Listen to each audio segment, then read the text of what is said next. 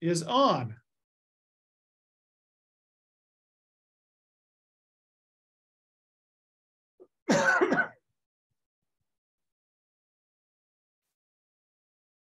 and uh, we barely got into this Friday. So if you weren't here, you can go back and watch the video and get the rest of chapter 17 and the very beginning of chapter 18.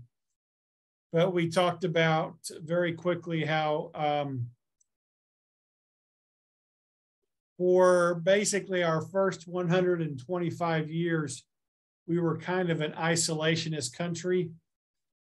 We were able to stay um, basically um, to ourselves because we had two big oceans on the west and on the east. And uh, countries from Europe and from Asia and the Far East couldn't really mess with us, and we didn't have to worry about them. But then, uh, the beginning of the 20th century, and especially after World War II, our foreign affairs, our foreign policy really grew as we became more and more involved in global affairs. Our isolationist policy was kind of uh, enumerated by George Washington in his farewell address that it would be our policy to stay clear of any permanent alliances with any foreign nation. Thomas Jefferson echoed that sentiment. He said, Peace and commerce and honest friendship with all nations hey, we're going to trade with nations. We're going to try to be good friends to them. We want to have, we want to be at peace with all nations, but we're not going to get tied up in any alliances with those, uh, with other nations. If England has a problem with France, we're going to stay out of it. We're not going to get entangled with England or with France. when we talk about foreign policy, we need to understand that we're not just talking about defending our country. Defense is uh, defense is certainly a part of our foreign policy because it deals with keeping our nation safe and secure. But foreign that but but the defense policy is a part of foreign policy but it's not the only part. Defense includes military, our military um, technology, our military uh, forces. Foreign policy also includes our diplomacy.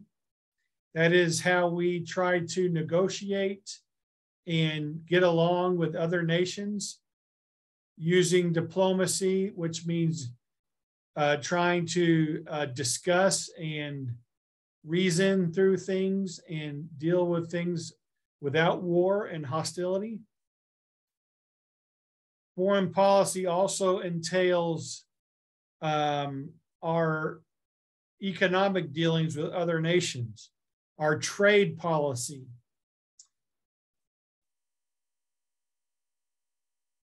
and then security exchanges that take place with other nations. This would entail um, getting into organizations like NATO and like the UN, where we are working with other nations to bring security and stability and peace to other parts of the world. Right now, our, our government leaders in the United States are dealing with a very tricky situation concerning Russia and Ukraine.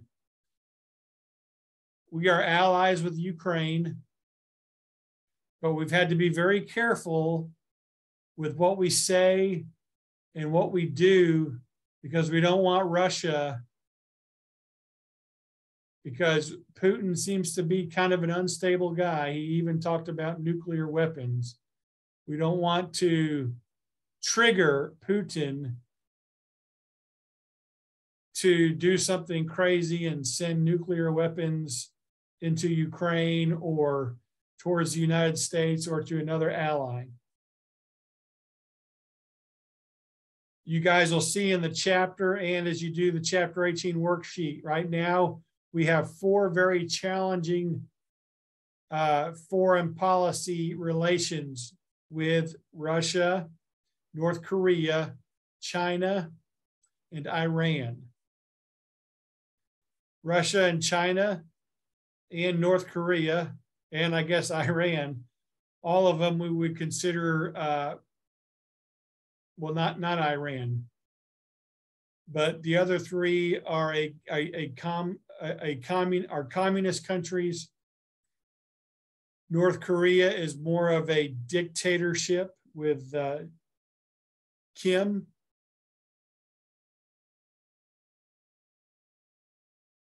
and I guess we consider Putin a dictator, although he is he is not to the level.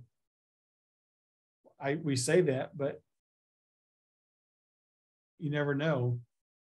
But with with Russia and China, we're dealing with two other superpowers who have nuclear capability.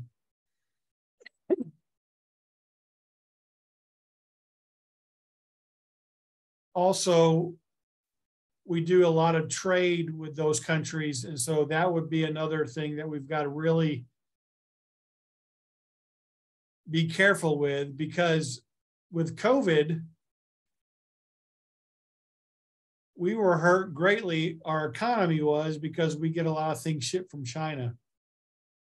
And so if we make China mad, they can say, okay, we're going to stop shipping stuff. And that would really affect the American economy. With North Korea and Iran, we're dealing with some very unstable leaders and them getting nuclear capability. And I don't know if you guys have ever heard, but Kim at North Korea, he, he keeps test launching these nuclear missiles every now and then, sending them into the uh, Sea of Japan or the North China Sea and it makes us nervous, makes people nervous. But anyway, our foreign policy deals in, encompass encompasses all these things. You might think of the acronym DIME. D is for diplomacy, I is for information, M is for military, and E is for economy. These are all components of foreign policy.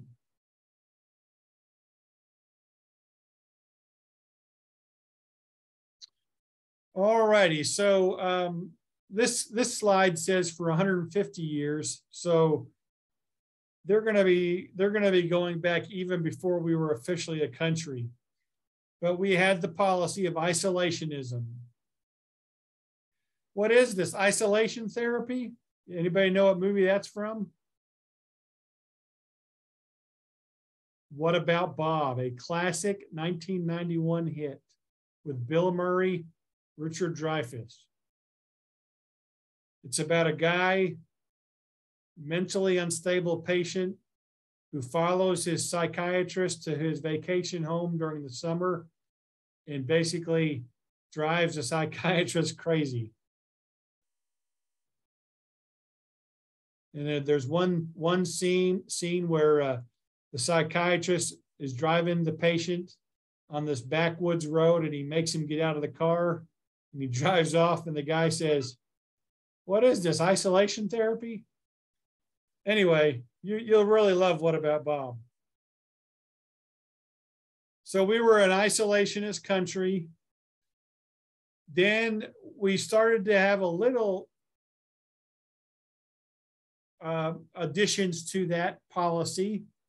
Like in 1823, the Monroe Doctrine was established. In case you forgot what that is, this is basically the United States telling Europe stay out of any affairs in North and South America. Do not mess with any countries in the Western Hemisphere. If you mess with, uh, let's say, for example, um, if Spain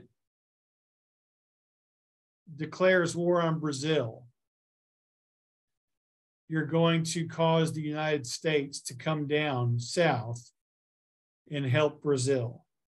So that's what the Monroe Doctrine was. So um, we still were isolationist, but we kind of adopted a good neighbor policy. Like a good neighbor, uh, instead of State Farm, it could be said, like a good neighbor, the U.S. is there for you. Countries of South America and Central America, and Canada too, since Canada is a part of North America.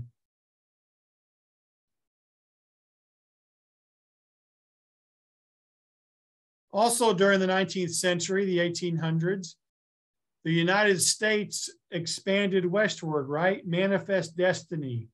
We're, we're going west, young man, and we're eventually adding uh, the Louisiana Territory, and then we're annexing Texas from Mexico, and then we're adding the Oregon Territory, and then California.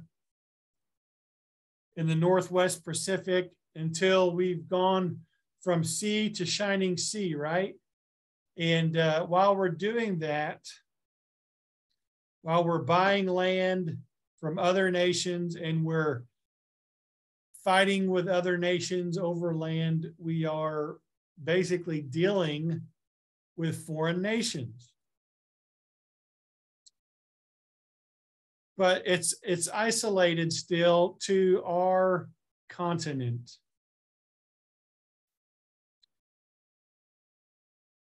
And we had this sense, as I shared just a few minutes ago, it was called manifest destiny. It's, it was a belief that God had started America with the pilgrims. And um, it was our destiny to conquer the land and establish a Christian nation that would be a bright and shining light for all nations. And um,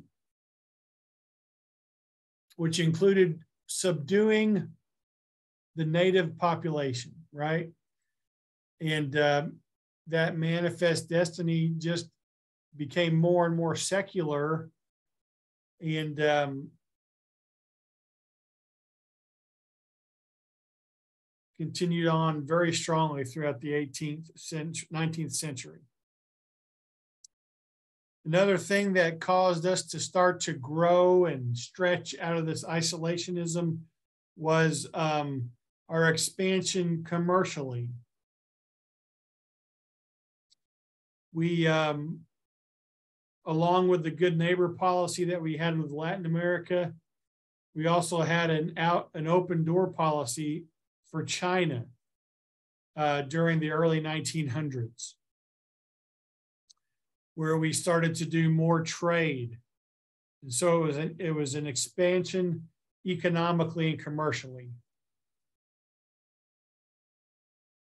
Some other things that uh, caused the isolationist philosophy to stretch and eventually break there was an addition to the Monroe Doctrine called the Roosevelt Corollary.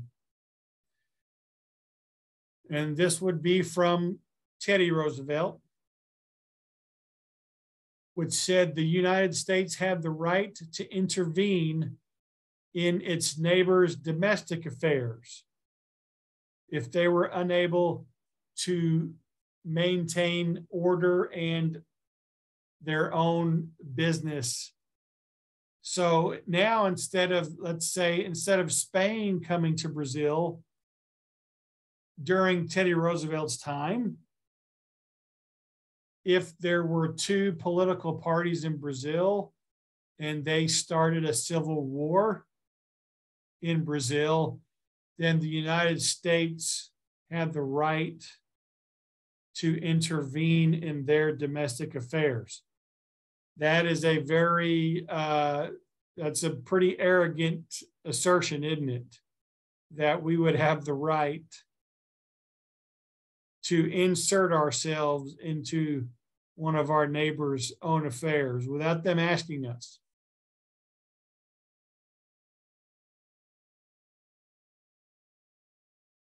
And then the Truman Doctrine came along uh, after World War II, and it was a policy of containment. And we'll talk more about containment here right now. Containment was the theory that if one country became a communist country, then the countries around it, its neighbors, would also become communist. That is known as the domino theory. Have you guys heard of the domino theory? Maybe in some past US history classes. So, um, in order to stop the domino theory, Truman and his his um, administration came up with the containment policy. And so this really this really happened after World War II.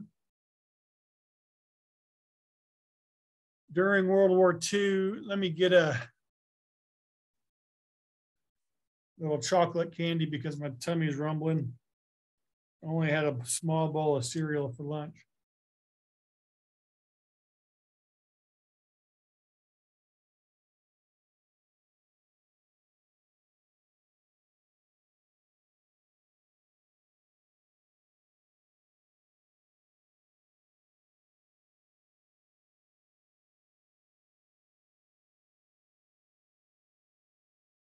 So if you look here,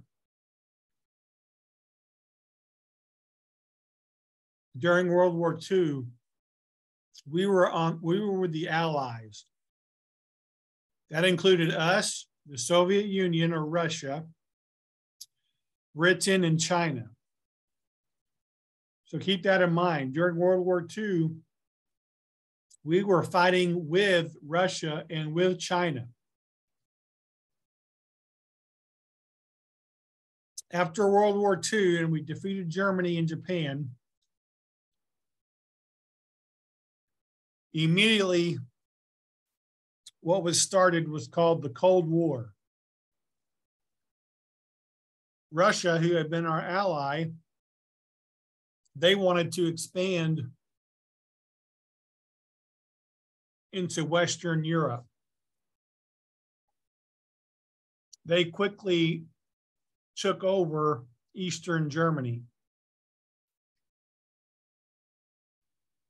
We got alarmed because even though we had been allies with them in the war, they were still basically a communist country. We were a capitalist country, democracy. So we we we made sure that uh, West Germany was on the side of the U.S. and, and Britain. Even, even the city of Berlin, the capital of Germany, was divided into East and West.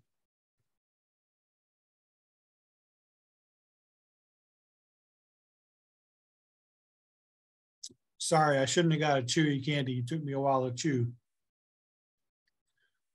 Russia and China continued to show what we felt was aggression with other countries like Greece. And then if you look up here, Korea, Vietnam, and Laos. And so the containment policy said we can't let Laos or Korea or Vietnam become communist because if one of them becomes communist, it's going to just topple over like a domino into its neighbors. And, and all of these countries will go down like dominoes and become communist countries.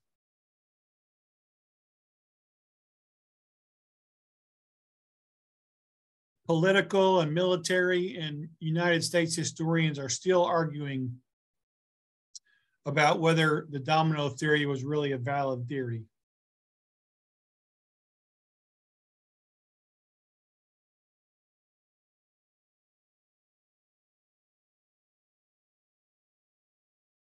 So World War II led to a historic shift away from isolationism. And what we would say is the next, so we went from isolationism or an isolationist policy to the next one, containment policy. These are all laid out in your book.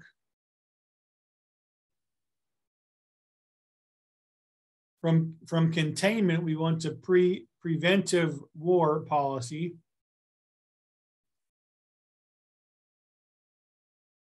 Getting into a war to prevent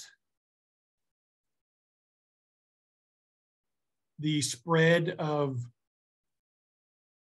something like communism, and that that's something that the Vietnam War was, or they call it the Vietnam conflict it went from being containment because before we ever sent troops to fight in Vietnam, we had had military advisors in Vietnam for a good 10 years. And they were over there to try to help the uh, South Vietnamese um, be, ha, help, to help them to keep from being taken over from the North Vietnamese to contain the, the communism. But when we started sending troops over there in the early 60s, it went from containment to preventative war.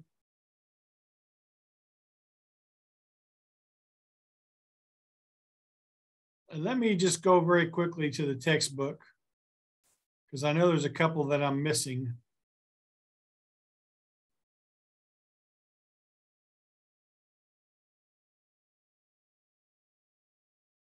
And I am aware that it's 1143, so we'll do this very quickly. you guys see the textbook there?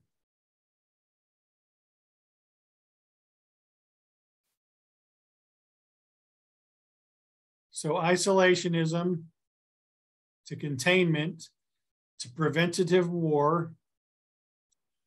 Some people said we should try appeasement and this is the policy where you try to stop war by giving in to the demands of a hostile power. Britain tried this with Nazi Germany and it did not work. Then there's then there's deterrence. Deterrence is where um, a nation tries to convey their peaceful intentions to other nations, but at the same hand, they also are making it clear that they will be willing to fight. An example of this is um, during the Cold War with Russia, we made it very clear to Russia that we did not want to have war but we continued to build up a very large arsenal of nuclear weapons that included over 1,500 nuclear warheads. So we were we were making it clear we we want we want peace. We don't want war. But on the other hand, if you should start something, we're going to be ready to go. We're going to be ready to rumble.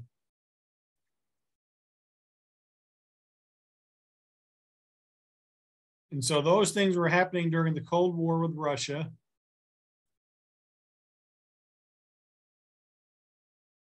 And then, especially with, um, with Reagan,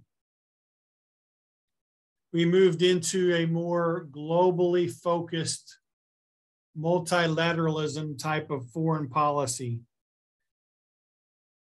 And this is the type of dealings with other nations that uh, just doesn't entail military combat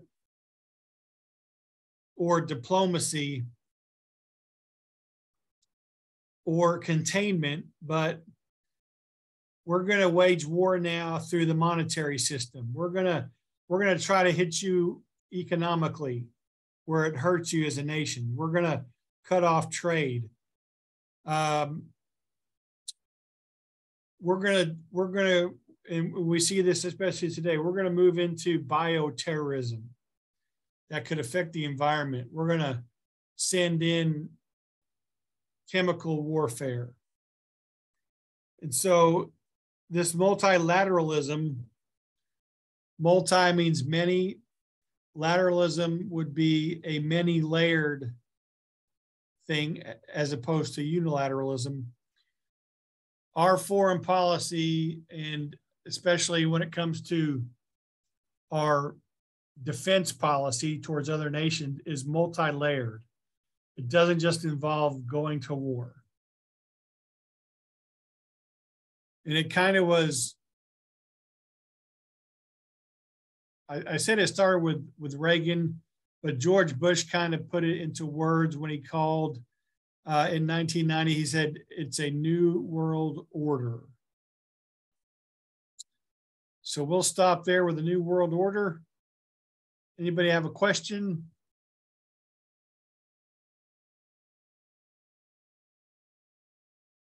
Have a good Monday, a good Tuesday. And we'll see y'all Wednesday morning if the creek don't rise.